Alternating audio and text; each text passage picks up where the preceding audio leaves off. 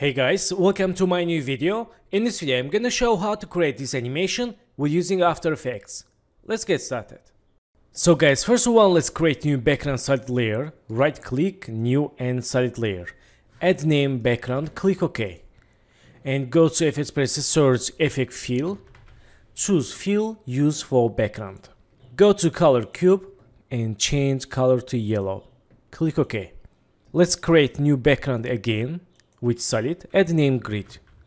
Click OK. And go to Preset, search Effect Grid and use grid for layer. And go to size form, choose here with slider and change slider like this. Change opacity. Okay, that's good. And again go to Preset, search FXCC lens. Use lens for grid and change size Okay, that's all. And look layers. So in this time I'll show you very easy, quickly way for create fake 3D text animation. Go to text and color. Let's choose white. And let's write here loop. Clickation tool and go to align. Click this and this icon for move to center. And let's control D for duplicate and change name main text and this change name extrude. Select these main text, go to Effects Preset, search Effect, Drop Shadow. Choose Drop Shadow, use for main text. And softness, let's change softness like this. So, time to show you very easy way. Choose main text and just move to right. Boom, that's all and we can change this softness like this for more.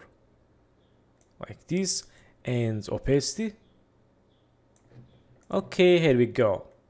This 2d text layer bad looks 3d and let's go to window open animation composer 3 starter presets text layer animate characters and choose overshot. And choose these text layers click in. Preview animation Okay, so in this time let's create new null object. Right click, new and null object. And let's hold control, double click pan behind icon for move anchor point center. Clickation tool and go to align and this align. Select these text layers, link to null and select null. Let's see after text animation Let's press P, create new path in keyframe and go to here and move up. Let's enable title action save and choose two keyframes, make it easy or click F9. Go to graph editor and make it smooth. Let's see. Okay, back to keyframes and select these two text layers. Let's control D and move up. Change colors pink. And let's select two layers and move to down. So in this time let's choose main text write boom clickation tool and extrude. Let's double click write boom. And select two layers and move to right. Let's see. Preview animation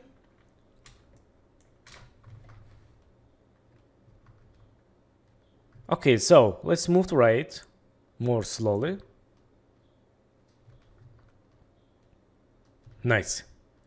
Okay, so in this time, let's back to Animation Composer 3, go to Browse, and let's open here Starter Precoms, Shape Elements, and I will use Particle Fireworks. Let's choose and click Add, and close window. Let's choose this compensation and move to left here. Okay again let's control D move to right and move to here and link to null object. Move to left.